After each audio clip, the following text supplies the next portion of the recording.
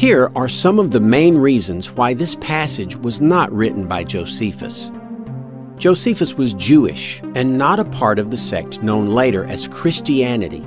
He would never have written that Jesus was the Messiah, nor would he have hinted that Jesus was not merely human but divine. The passage, as most insertions do, interrupts the flow of the surrounding text. All we need to do is remove the passage and read the surrounding text before and after to see that this is true. I'll leave that as an exercise for you. The passage is not quoted for over 200 years by any church father until Eusebius in the 4th century, even though several fathers, including Origen, quoted from Josephus and would have been quoting the Testimonium Flavianum like crazy had it existed at that time. Perhaps even more problematic, Christian writers much later than Eusebius failed to mention the passage even though they also quoted or wrote about Josephus's works. These are Chrysostom in the late 4th century and Photius in the second half of the 9th century. The fact that a church father writing about Josephus in three different writings would pointedly ignore the Testimonium Flavianum indicates that his copy of Antiquities of the Jews simply did not contain the Testimonium Flavianum. Another strange thing about this passage is that if Josephus did write it, it is the only time Josephus mentions the sect known later as Christians for him to simply make sweeping summary statements of Jesus and one sentence about Christians in all his voluminous writings certainly doesn't add up. Since this would be the one and only mention of Christians in all his works, why didn't he elaborate on the sect as he did many other sects he mentions? Wouldn't Josephus have known about the Christians in Rome and the whole Nero fiction since it allegedly happened only about eight years before Josephus came to Rome, after the Roman Jewish War. But he says nothing of this in his works. Another indication that this is a much later insertion is the way the author views Christians in his last line. It seems more like a statement one would make hundreds of years later instead of just a few decades later. And the part about his disciples not forsaking him. We might conclude that the person who inserted this had never read the Gospel of Mark. In Mark's account, all the disciples forsake Jesus. One final thought before we leave Josephus. He does mention several people that do appear in the Gospel accounts. One of them is John the Baptist. Now, some of the Jews thought that the destruction of Herod's army came from God, and that very justly, as a punishment of what he did against John, that was called the Baptist, for Herod slew him, who was a good man. Herod, who feared lest the great influence John had over the people might put it into his power and inclination to raise a rebellion. Accordingly, he was sent a prisoner out of Herod's suspicious temper to Machaerus, the castle I before mentioned, and was there put to death. At first blush, a Christian might say, Aha! Josephus mentions John the Baptist. This corroborates the gospel story. But does it? Isn't it more problematic that Josephus mentions John the Baptist without mentioning Jesus at all in the same passage? Why would Josephus pointedly ignore the relationship between the two and never make one mention of it?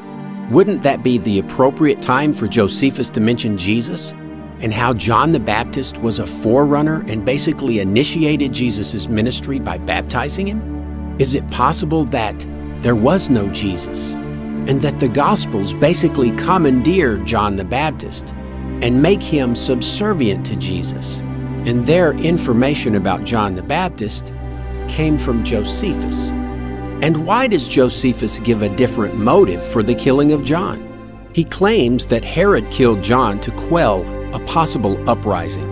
But Mark and Matthew both claim it was because John had insulted Herod's wife, Herodias, by telling her their marriage was not lawful, since she had been married to Herod's brother. And so she gets revenge against John by tricking Herod into killing him. It's not a good sign when your star witness provides contradictory testimony of the events. Now let's have a look at the other mention of Jesus in Josephus found in Book 20 of Antiquities of the Jews.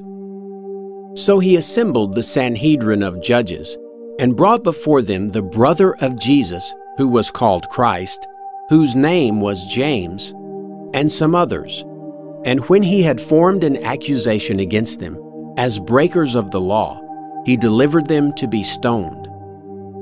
One reason to wonder if this is an interpolation is the grammar.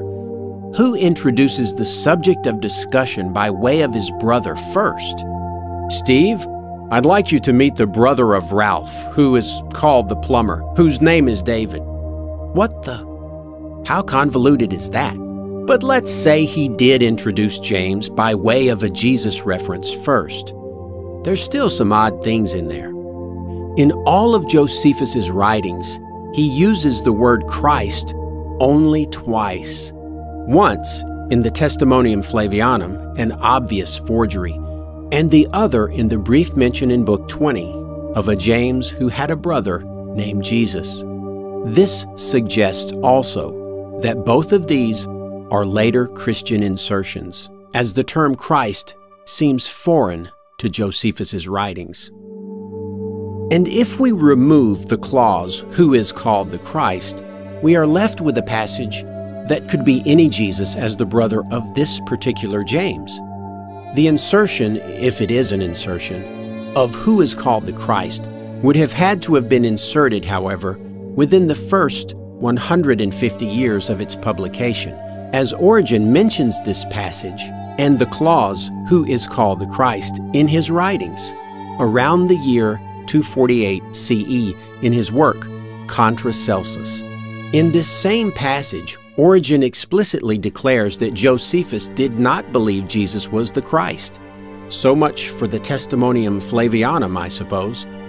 But I'd say 150 years is certainly plenty of time for a Christian insertion to creep into Josephus's work. As you can see, there are many reasons to believe that the Testimonium Flavianum, as well as the other brief mention of Jesus, are later Christian insertions into the text. The TF, quite possibly by Eusebius himself. A case of trying to shore up the absolutely deafening silence of history concerning the existence of the Gospel Jesus.